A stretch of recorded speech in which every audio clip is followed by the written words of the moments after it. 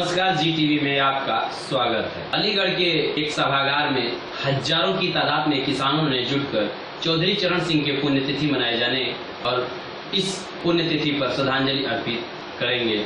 वह महामहिम राष्ट्रपति से चौधरी चरण सिंह को भारत रत्न की उपाधि दिए जाने की मांग पर ही पहल किया है। तथा वहीं उन्होंने कहा है कि किसानों के मसीहा चौधरी चरण सिंह रहे हैं, जिनके विचारों को अनुसरण करना आज के किसानों के लिए बहुत ही महत्वपूर्ण है। जो आज किसानों का आए दिन शोषण होते रहा है, वह शोषण चौधरी चरण सिंह के अनुयायी और उनके विचारधाराओं पर अगर चलता रहा तो ज़ाहिर सी बात है यह शोषण से मुक्त हो सकते हैं। किसान मजदूर संघ के अध्यक्ष डॉक्टर ओमवीर सिंह ने कहा कि आजकल की भारतीय राजनीति कृषि और कृषि जीवन की उपेक्षा करती रही है। पिछले एक दशक में लाखों किसानों ने आत्महत्या की है, जो प्रमाण है। ऐसे विषम समय में चौधरी चरण साहब को याद करना है और उनके विचारों के साथ कृषक समाज को जागरूक करना ज़रूरी है। किसानों ने अपने स्वाभिमान की रक्षा के लिए अब जाग उठे हैं। यह चौधरी चरण सिंह के लिए सच्ची श्रद्धांजलि होगी। महापंचायत में करीब 2000 लोगों ने शामिल होने की आशंका बताई है।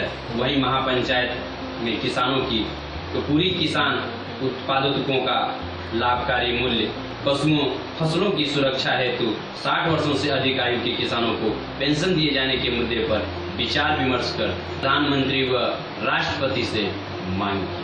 अलीगढ़ से हमारे संवाददाता अजय कुमार की खास और उनके लिए भारत रत्न की मांग करेंगे। ये सबसे प्रमुख मुद्दा है।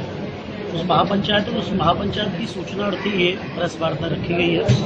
और महापंचायत में कई सारे बिंदु हैं हमारे। सबसे पहला बिंदु है कि जो आज किसान और मजदूर जो गरीब हो रहा है, उसका सबसे बड़ा कारण ये है कि उसको वास्तव में उसकी मेहनत का और लागत का मूल्य ठीक से नहीं मिल रहा और इसका आकलन कोई भी सरकार अभी तक कर भी नहीं पाई और आज भी नहीं हो पा रहा है। केवल आंकड़ों में बातें होती हैं या फिर केवल भाषणबाजी में बातें होती हैं। हमारा पूरा प्रयास ये है कि सभी फ़सलों के सही लागत मूल्य लगाई जाए और लागत भी किसानों को लाभकारी मिल जाए। कहाँ कहाँ से लोग जुटेंगे इसमें?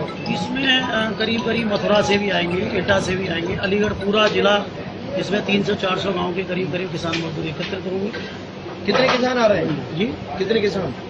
लगभग ढाई से तीन हज़ार किसान मजदूर इसमें मुख्य मुख्य किसान मजदूर एकत्रित होंगे। ढाई से तीन हज़ार करीब। पूरा क्षेत्र के हैं एटा से भी है आपके आगरा से भी है।